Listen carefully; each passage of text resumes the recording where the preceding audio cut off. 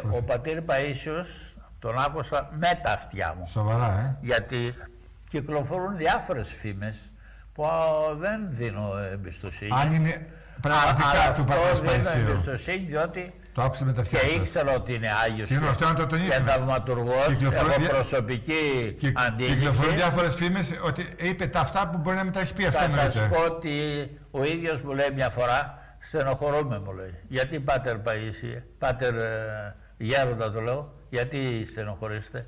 Διότι λέει κυκλοφορούν λόγια δικά μου τροποποιημένα. Α, Επίσης κυκλοφορούν λόγια ως δικά μου που δεν τα είπα καν. γιατί είναι, για, πουλιώνται, πουλιώνται τα βιβλία, γι' αυτό δηλαδή.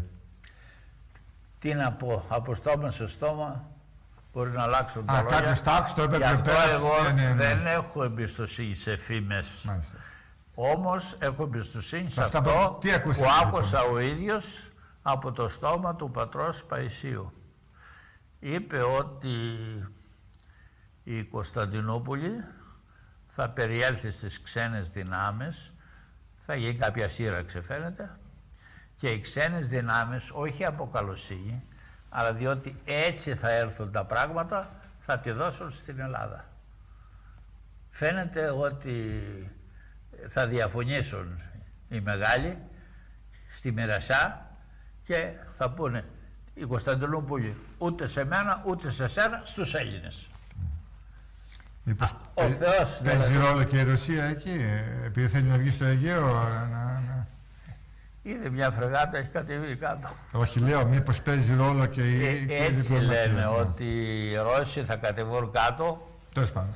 και θα τιμωρήσουν το βάρβαρο λαό που μας σφαγίαζε 400-500 χρόνια να βάλουμε και τη Βόρεια Ελλάδα.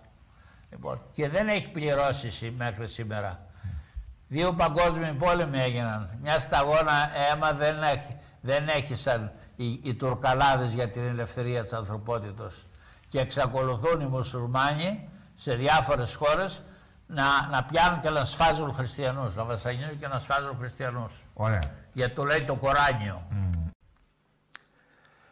Αφού λοιπόν προσπάθησα να σας μεταφέρω το πνευματικό μέγεθος του γέροντα Παϊσίου, βαδίζοντας προς το τέλος της ομιλίας, θα ήθελα να καταθέσω στην αγάπη σας κάτι διαφορετικό από τα προηγούμενα. Μια προφητεία που έχει σχέση με την εποχή και όπως εγώ το νιώθω, ίσως έχει σχέση και με τη ζωή μας. Μια προφητεία όπως την άκουσα με τα αυτιά μου από το στόμα του Αγίου Γέροντα Παϊσίου πριν περίπου 25 χρόνια. Τότε ο κόσμος δεν ήταν σε βρασμό όπως είναι σήμερα, τότε τα πράγματα ήταν πολύ διαφορετικά. Ήταν απόγευμα και συζητούσαμε οι δυο μας στην αυλή της Παναγούδας για διάφορα θέματα. Πρέπει να ήταν γύρω στο 1991. Μου λέει μια στιγμή ο γέροντας, σε μερικούς δεν συμφέρει να υπάρχει η Ελλάδα. Οι εχθροί μας θέλουν να μας ξεσκίσουν και οι φίλοι μας να μας τσαλακώσουν. Δεν πειράζει όμως, έχουν οι άνθρωποι τα σχέδιά τους, έχει και ο Θεός τα δικά του. Στο τέλος θα φέρει έτσι τα συμφέροντα των μεγάλων που θα αναγκαστούν να μας βοηθήσουν. Όχι από φιλία ή δικαιοσύνη, αλλά γιατί έτσι θα φέρει ο Θεός τα συμφέροντά τους. Θα πολεμούν μεταξύ τους και δεν θα μπορεί να νικήσει ο ένας τον άλλον και θα πούν την πόλη, την Κωνσταντινούπολη δηλαδή, ούτε εμείς θα την πάρουμε ούτε εσείς. Θα τη δώσουμε στους Έλληνες. Και θα μπει ελληνικό στρατός στην πόλη χωρίς να πολεμήσει. Η Τουρκία θα διαλυθεί. Θα κάνουν κράτος και οι Κούρδοι και οι Αρμένοι. Αυτά τα είπε, φανταστείτε, το 91, πόσα χρόνια πριν, 25 χρόνια πριν περίπου. Τότε δεν υπήρχε τίποτα στον ορίζοντα. Σήμερα, μετά από 25 χρόνια, βλέπουμε το σκηνικό σιγά σιγά να στείνεται. Αυτό ξεπερνούσε και την πιο καλπάζουσα φαντασία. Όμως το είπε ο γέροντας. Θυμήθηκα πόσα περιστατικά από την ασήμαντη ζωή μου είχε προείπει. Αυτός που βλέπει το μέλλον, το ασήμαντο μέλλον σε ενός ανθρώπου, δεν μπορεί να δει το μέλλον της πατρίδας μας. Θυμήθηκα τότε που μας έλεγε ότι θα διαλυθεί η Σοβιετική Ένωση. Έλεγε, σάψαν τα δίχτυα που κρατούσαν τον λαό.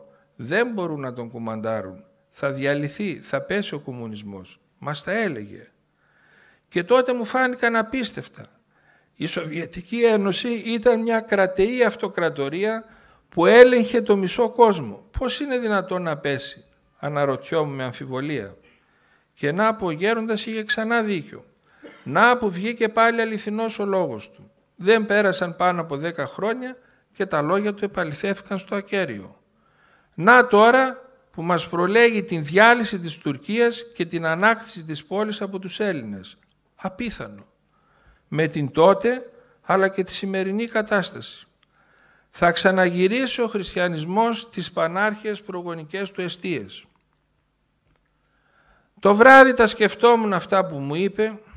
Καλά λέω. Εμείς οι Έλληνες που ζούμε στην Ελλάδα είμαστε 10 εκατομμύρια. Ο πληθυσμός της πόλης μόνο είναι μεγαλύτερος.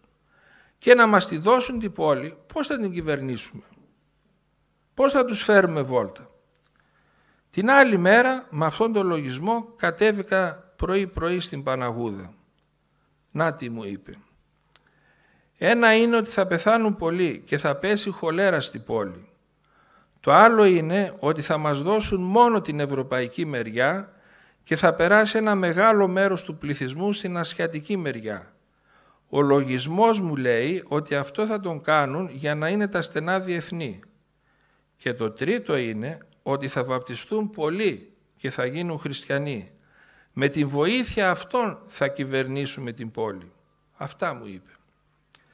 Μετά που έφυγα άρχισα να σκαλίζω λίγο το θέμα. Να τη βρήκα. Στην Τουρκία υπάρχουν 20 εκατομμύρια περίπου αλεβίτες ή μπεκτασίδες όπως λέγονται με άλλο όνομα. Αυτοί έχουν κάνει μέχρι και επίσημη αίτηση στον ΟΗΕ για να αναγνωριστούν σαν διαφορετική θρησκεία και ζητούσαν να τους επιτραπεί να έχουν τα δικά τους ιερά γιατί δεν θέλουν να πηγαίνουν στο τζαμί. Δεν θεωρούν δηλαδή τους εαυτούς τους μουσουλμάνους. Πόσο είναι προχωρημένη κατάσταση δηλαδή. Ποια είναι τα χαρακτηριστικά των Αλεβιτών; Συμπάθεια για τους Έλληνες, τους Γιουνάν, Ήωνες δηλαδή, όπως μας αποκαλούν με το αρχαίο όνομά μας, διαβάζουν και αγαπούν Πλάτων, Αριστοτέλη και τους αρχαίους φιλοσόφους και πιστεύουν στην Αγία Τριάδα. Όχι βέβαια με τον τρόπο που την πιστεύουμε εμείς οι Ορθόδοξοι, αλλά και αυτή η απλή συνωνυμία κάτι δείχνει. Νομίζω ότι αυτοί είναι που θα ξαναβαπτιστούν χριστιανοί όπως είπε ο Γέροντας. Λέω ότι θα ξαναβαπτιστούν χριστιανοί γιατί ο πληθυσμός της Τουρκίας με ασιατικά χαρακτηριστικά είναι λίγος και βρίσκεται συγκεντρωμένος σε μία περιοχή τη Σίβα. Η συντριπτική πλειοψηφία είναι εξισλαμισμένη Ρωμιοί, δηλαδή κάτοικοι της χριστιανικής αυτοκρατορίας που είχε πρωτεύουσα την Κωνσταντινούπολη. Είναι πολλοί αυτοί που το γνωρίζουν αυτό, κυρίως μεταξύ των μορφωμένων Τούρκων. Μην νομίσετε ότι τα λέω αυτά από κάποιο είδος εθνικής υπερηφάνειας. Η σημερινή κατάσταση των Ελλήνων με κάνει να ντρέπομαι. Παρακαλώ την αγάπη σας να μην με παρεξηγήσετε. Πρώτα απ' όλα και πάνω απ' όλα είμαι χριστιανός Ορθόδοξος. Η εθνική μου ταυτότητα έπεται κατά πολύ της χριστιανικής μου ιδιότητας. Τα λέω αυτά για χάρη της αλήθειας. Για να υπάρχει μια μαρτυρία ότι ο πατήρ Παΐσιος είχε, είχε προβλέψει μια τέτοια εξέλιξη και όταν γίνουν αυτά να συνειδητοποιήσουν οι νέοι μας την μεγάλη αξία της πίστης μας και να στερεωθούν σε αυτή. Τα λέω για να χαρείτε κι εσείς με το ξαναζωντάνωμα της Ορθοδοξίας στις παλιές της αιστείες. Τα λέω για να έχουμε κι εμείς τη καλή ελπίδα και να μην φοβόμαστε το σκοτάδι που πάει να καλύψει τον κόσμο. Γι' αυτό τα έλεγε και σε εμάς ο Γέροντας γιατί έβλεπε χρόνια πριν τις δυσκολίες που έρχονται, τη θύελα που πάει να ξεσπάσει και να καλύψει τη γη και ήθελε να μας στηρίξει πνευματικά να μην δηλιάσουμε όταν βρεθούμε μέσα στη δαιμονική μπόρα. Μας έδινε την ευτυχή κατάληξη, μας έδειχνε την ευτυχή κατάληξη. Έλεγε, μετά την μπόρα τη δαιμονική θα έρθει η Ηλιακάδα η θεϊκή.